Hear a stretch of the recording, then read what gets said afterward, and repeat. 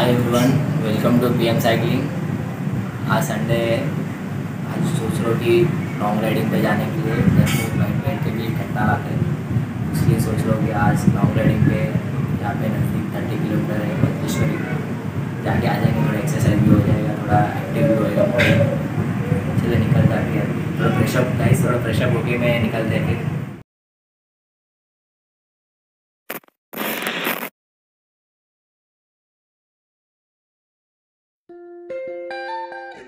Yeah, you know what I'm saying?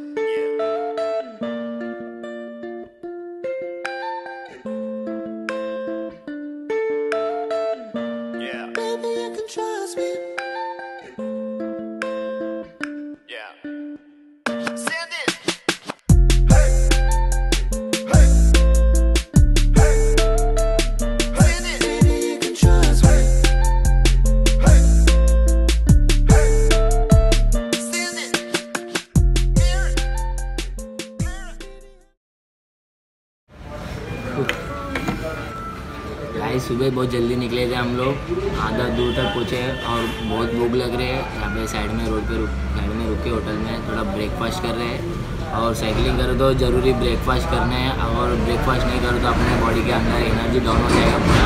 कुछ ना कुछ खा के आपको निकल जाने का और एनर्जी भी एनर्जी भी चार्ज होता है और बढ़ते भी।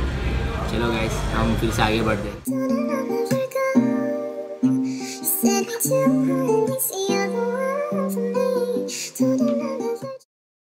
गाइस फाइनली ब्रेकफास्ट ख़त्म हो गया हमारा। हम लोग भद्रेश्वरी जाने के लिए आधा रास्ता पहुँच गए और आधा रास्ता बचा है। क्या होएँगे देखते हैं। चलो stay tune guys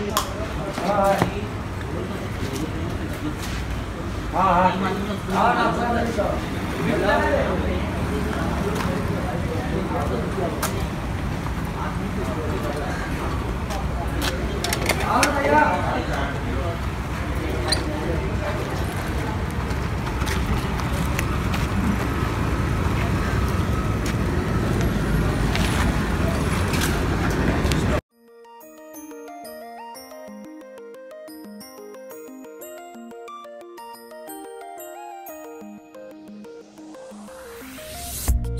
not believe your eyes if 10 million fireflies lit up the world as I fell asleep.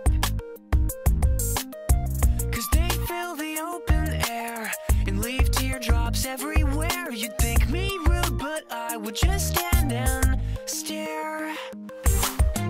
I'd like to make myself believe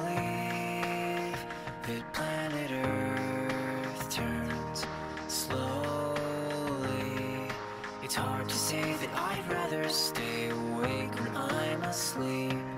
Cause everything is never as it seems.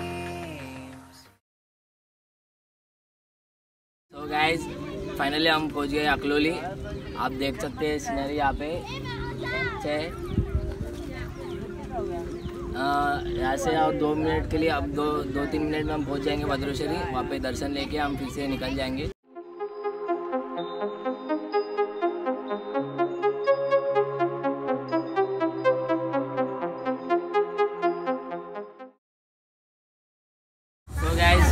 हम पहुँच गए भद्रेश्वरी माता जी के मंदिर मंदिर के पास। हम चलो दर्शन लेके चलते हैं अपन ऊपर